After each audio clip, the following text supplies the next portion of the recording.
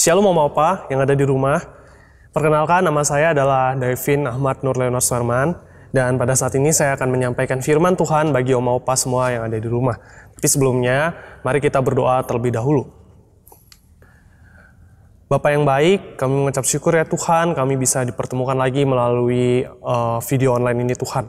Tuhan, kami akan mendengarkan firman Tuhan. Kiranya kau pimpin hati kami, pimpin pikiran kami ya Tuhan, supaya kami bisa mendengarkan firman Tuhan dengan baik. Hanya di dalam nama Tuhan Yesus kami berdoa. Amin. Oma Opa, tema dari firman Tuhan pada hari ini adalah hidup bermakna dengan berdoa yang diambil dari Markus 1 ayat 29 sampai 39. Markus 1 ayat 29 sampai 39. Dan saya akan membacakannya untuk opa semua yang ada di rumah. Yesus menyembuhkan ibu mertua Petrus dan orang-orang lain. Sekeluarnya dari rumah ibadat itu, Yesus dengan Yakobus dan Yohanes pergi ke rumah Simon dan Andreas, ibu mertua Simon, yang terbaring karena sakit demam. Mereka segera memberitahukan keadaannya kepada Yesus. Ia pergi ke tempat perempuan itu, dan sambil memegang tangannya ia membangunkan dia, lalu lenyaplah demamnya. Kemudian perempuan itu melayani mereka, dan menjelang malam, sudah matahari terbenam, dibawalah kepada Yesus semua orang yang menderita sakit dan yang kerasukan setan. Maka berkerumunlah seluruh penduduk kota itu di depan pintu. Ia menyembuhkan banyak orang yang menderita bermacam-macam penyakit dan mengusir banyak setan. Ia tidak memperbolehkan setan-setan itu berbicara, sebab mereka mengenal dia. Yesus mengajar di kota-kota lain. Pagi-pagi benar, waktu hari masih gelap, ia bangun dan pergi keluar. Ia pergi ke tempat yang sunyi dan berdoa di sana. Tetapi Simon dan kawan-kawannya menyusul dia. Waktu menemukan dia, mereka berkata, "Semua orang mencari engkau." Jawabnya, "Marilah kita pergi ke tempat yang lain, ke kota-kota yang berdekatan, supaya di sana juga aku memberitakan Injil, karena untuk itu aku telah datang." Lalu pergilah ia ke seluruh Galilea dan memberitakan Injil dalam rumah-rumah ibadat mereka dan mengusir setan-setan. Demikianlah firman Tuhan. Om Opa ada sebuah istilah di dalam dunia pekerjaan yang cukup terkenal bagi setiap orang. Mungkin Om Opa juga tahu tentang istilah ini. Istilah tersebut adalah workaholic. Workaholic adalah sebutan untuk orang yang memiliki workaholisisme atau kecanduan untuk terus bekerja. Dan workaholisme adalah sebuah kondisi di mana seseorang merasakan paksaan atau kebutuhan dari dalam diri mereka untuk terus bekerja yang tak dapat dikendalikan. Dalam kata lain, kecanduan ini adalah untuk terus-menerus bekerja dan diciptakan dari dalam diri mereka sendiri, bukan karena faktor luar. Pekerjaan membuat mereka menjadi sibuk, mungkin 24 jam bagi mereka masihlah sangat kurang kalau bisa waktunya diubah menjadi 30 jam sehari sehingga mereka bisa menyelesaikan pekerjaan-pekerjaan mereka. Tak heran, karena saking sibuknya mereka, mereka melupakan beberapa hal penting di dalam kehidupan mereka. Seperti relasi dengan keluarga, relasi dengan sesama, atau mungkin relasi bersama dengan Tuhan. Karena workaholic ini, mereka melupakan bahwa kehidupan bukan hanya untuk bekerja saja mereka menjadi sibuk dengan pekerjaan mereka dan tidak bisa menyediakan waktu lagi bagi orang-orang di sekitar mereka maupun untuk Tuhan. Saking sibuknya mereka, tidak heran bahwa mereka sering merasa stres dengan pekerjaan mereka dan akhirnya mereka e, mendapatkan berbagai macam penyakit seperti jantung dan lain-lainnya karena kelelahan bekerja. Om Opa, peristiwa dari workaholic ini mungkin sering kita temui bukan di sekitar kita. Tak heran, bagi kalangan orang-orang Kristen pada saat ini, terdapat banyak orang-orang yang workaholic atau gila bekerja.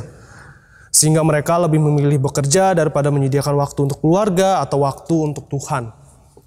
Kesibukan dalam bekerja membuat mereka lupa dengan berbagai hal, salah satunya adalah berdoa.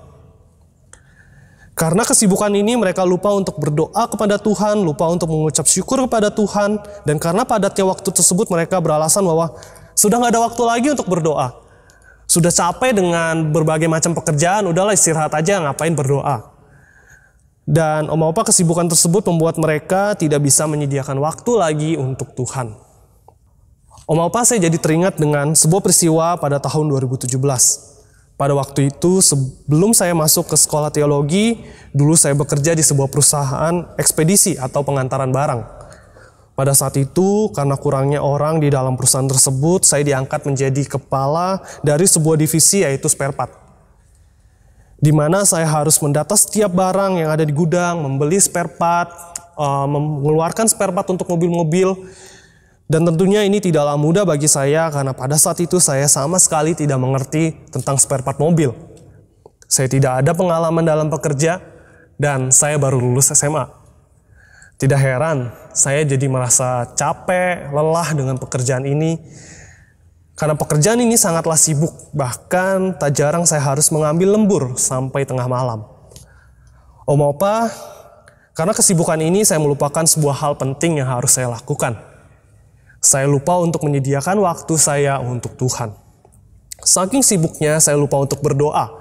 Dan bahkan satu hari saya bisa lupa untuk ke gereja bahkan tidak untuk datang ke gereja. Kesibukan membuat uh, orang-orang lupa untuk menyediakan waktu lagi untuk berdoa kepada Tuhan. Orang-orang lebih memilih melakukan pekerjaan dan meninggalkan doa dan atau membangun relasi bersama dengan Tuhan. Sehingga pada akhirnya mereka merasa kelelahan. Om Opa, bukan hanya kita saja yang pernah mengalami kesibukan pada saat ini. Tuhan Yesus sendiri sebagai manusia pada saat itu juga pernah mengalami sibukan. Pada bacaan kita hari ini, hal yang sama juga dialami oleh Tuhan Yesus. Pada saat itu Tuhan Yesus menjadi sangat sibuk di dalam berkarya seperti melakukan pengajaran, melakukan kesembuhan, dan melakukan pengusiran terhadap roh-roh jahat. Sebelum peristiwa yang kita baca tadi, dikatakan bahwa pada hari sabat, Tuhan Yesus hadir di dalam sebuah rumah ibadat yang terletak di Kapernaum dan melakukan pengajaran serta pengusiran roh jahat di sana. Lalu, setelah Tuhan Yesus melakukan pengajaran di dalam rumah ibadat tersebut, ayat 29, mengatakan bahwa sekeluarnya dari rumah ibadat itu, Yesus dan Yakobus dan Yohanes pergi ke rumah Simon dan Andreas. Om apa? Di dalam ayat ini Simon Petrus dan Andreas meminta untuk Tuhan Yesus datang ke rumah mereka. Di dalam perjalanan mereka, Simon mengatakan kepada Yesus bahwa pada saat itu ibu mertua dari Simon sedang terbaring karena sakit demam. Demam yang dirasakan oleh ibu mertua Petrus tidaklah terlalu parah, tetapi dikatakan uh, ibu mertua Petrus harus terbaring dan tidak bisa beraktivitas pada saat itu. Lalu mereka segera pergi ke rumah Simon. Dan Om pas sampainya di sana, Tuhan Yesus segera datang menghampiri ibu mertua Simon, lalu menggenggam tangannya dan membangunkan perempuan tersebut dan ibu mertua Simon pun sembuh lalu pergi untuk melayani mereka. Om apa Tuhan Yesus dan para muridnya menikmati jamuan yang sudah disediakan oleh ibu mertua Petrus pada saat itu. Lalu menjelang malam, setelah matahari terbenam dan bintang-bintang sudah mulai kelihatan, yang menandakan bahwa hari sabat pada hari itu sudah selesai, orang-orang pun segera datang berbondong-bondong kepada Tuhan Yesus Orang-orang sakit, orang-orang yang kerasukan setan, orang-orang yang lumpuh, semua datang kepada Tuhan Yesus pada saat itu. Seperti yang dikatakan di dalam ayat ke-32, menjelang malam sesudah matahari terbenam dibawalah kepada Yesus semua orang yang menderita sakit dan kerasukan setan. Berbagai orang sakit dan orang yang kerasukan dibawa ke hadapan Yesus. Lalu pada malam hari itu Tuhan Yesus banyak menyembuhkan orang yang menderita bermacam-macam penyakit dan mengusir banyak setan. Malam tersebut menjadi malam yang luar biasa bagi Tuhan Yesus. Tuhan Yesus harus begadang karena banyaknya orang yang datang kepadanya. Orang yang mencari kesembuhan. Orang yang ingin supaya kerabatnya disembuhkan dari kerasukan setan. Om apa hal yang menarik dilakukan oleh Tuhan Yesus? Bahwa di tengah kesibukannya di dalam berkarya, dia masih menyediakan waktunya untuk berdoa kepada Bapaknya. Om Opa jika kita perhatikan Tuhan Yesus sangatlah sibuk. Pada Markus 1 ayat 21 dikatakan bahwa mereka tiba di Kapernaum. Setelah hari sabat mulai, Yesus segera masuk ke dalam rumah ibadat tersebut dan mengajar. Ketika dimulainya hari sabat, Tuhan Yesus sudah melakukan pengajaran kepada orang-orang di sana. Bahkan di dalam pengajaran tersebut terdapat orang yang kerasukan setan dan Tuhan Yesus menghardik roh jahat tersebut. Lalu ketika hari sudah mulai siang menuju sore, Tuhan Yesus dan para muridnya pergi ke rumah Simon. Dan Tuhan melakukan penyembuhan di sana bagi ibu mertua Simon. Lalu pada malam hari, Tuhan Yesus banyak melakukan penyembuhan dan pengusiran roh jahat kepada orang-orang yang berbondong-bondong datang kepadanya. Om Opa Tuhan Yesus sangatlah sibuk. Tetapi Om Opa tahu, di tengah kesibukan pelayanan yang Tuhan Yesus lakukan, dia masih menyediakan waktunya untuk berdoa kepada Bapaknya. Di dalam Markus 1 ayat 35 dikatakan bahwa pagi-pagi benar, waktu hari masih gelap, ia bangun dan pergi keluar. Ia pergi ke tempat yang sunyi dan berdoa di sana. Om Opa tidak dikatakan dengan pasti bahwa kapan Tuhan Yesus bangun. Tetapi pada pagi itu hari masih terlihat gelap. Mungkin pada pagi hari itu berada di sekitar jam 2 pagi atau mungkin jam 4 pagi. Om Opa mungkin Tuhan Yesus belum cukup beristirahat pada saat itu karena semalaman dia menyembuhkan orang-orang yang sakit dan orang-orang yang kerasukan. Tetapi dikatakan bahwa di sini Tuhan Yesus sudah tidur sebanyak yang dia inginkan. Lalu dia bangun dan pergi keluar, dia mencari tempat yang sunyi lalu berdoa di sana. Dia menaikkan doanya kepada Bapa. Om Opa, kenapa Tuhan Yesus harus menyediakan waktu berdoa kepada Bapaknya meski dia sedang mengalami kondisi yang sangat sibuk? Kenapa dia tidak memakai waktunya untuk beristirahat saja? Om Opa meskipun Yesus adalah Tuhan, tetapi ketika dia menjalani kehidupan sebagai manusia di dalam dunia ini, ia masih membutuhkan Bapaknya di dalam kehidupannya. Di dalam Yohanes 5 ayat 9 dikatakan, Aku berkata kepadamu, sesungguhnya anak tidak dapat mengerjakan sesuatu dari dirinya sendiri.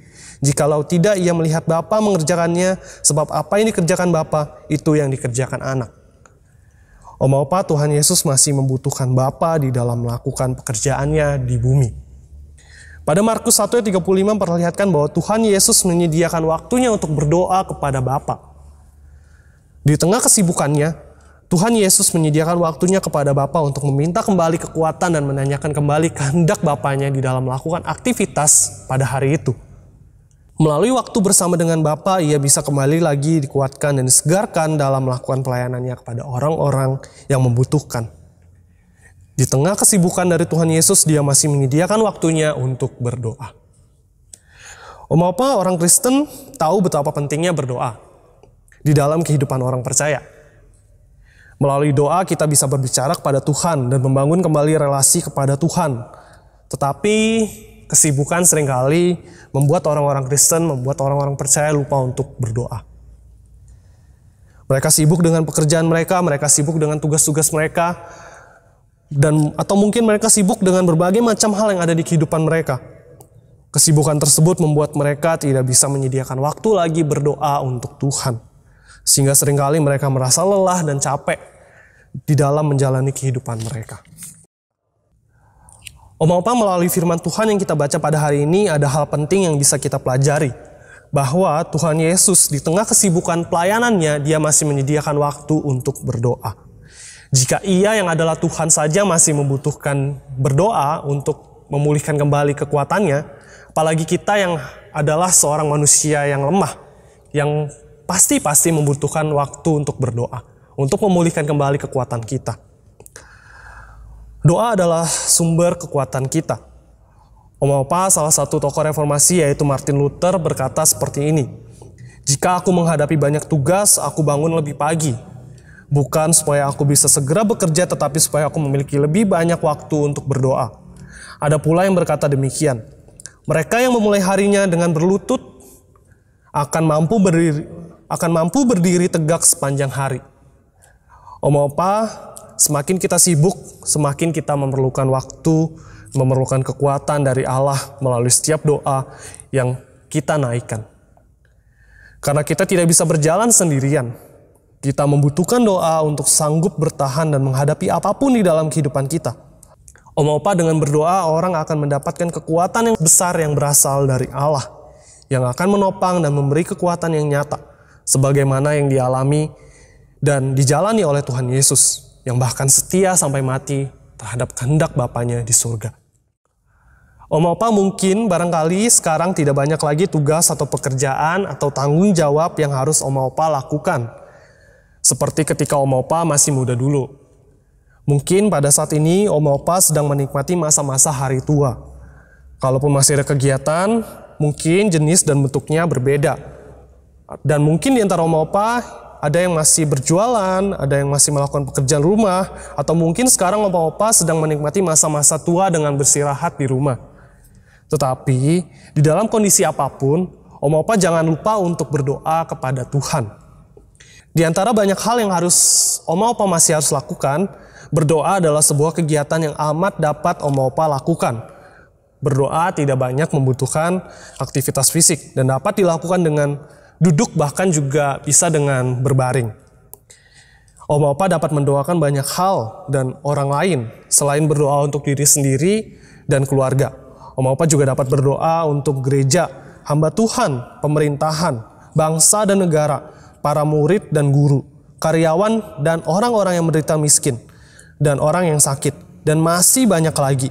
Dan Om Opa juga bisa berdoa bagi orang-orang yang sedang terkena COVID-19 atau mungkin keluarga yang ditinggalkan karena COVID-19 ini. Om Opa dapat mengisi waktu dengan mendoakan mereka. Sekalipun Om Opa sudah tidak bisa banyak beraktivitas, namun hidup kita tetap dapat bermakna dengan berdoa. Banyak hal yang bisa terjadi dan berubah karena doa. Allah adalah Allah yang maha mendengar. Ia pasti mengabulkan semua yang baik, yang sesuai dengan kehendaknya. Tuhan bahkan sanggup mengubah hati yang keras menjadi lembut, yang mustahil menjadi mungkin. Dan banyak hal bisa terjadi karena doa. Karena itu, Om Opa, marilah kita jalani masa tua kita dengan tetap bermakna, dengan berdoa. Amin. Mari kita berdoa. Bapak kami mengucap syukur kami memiliki Tuhan yang mengajarkan kami hal yang baik, yaitu berdoa.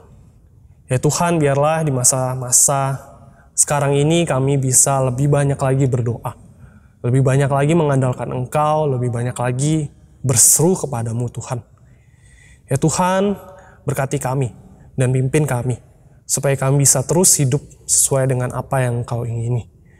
Di masa tua kami, biarlah kami bisa terus hidup sesuai dengan apa yang Engkau mau dan terus hidup sesuai dengan apa yang Engkau perintahkan Tuhan.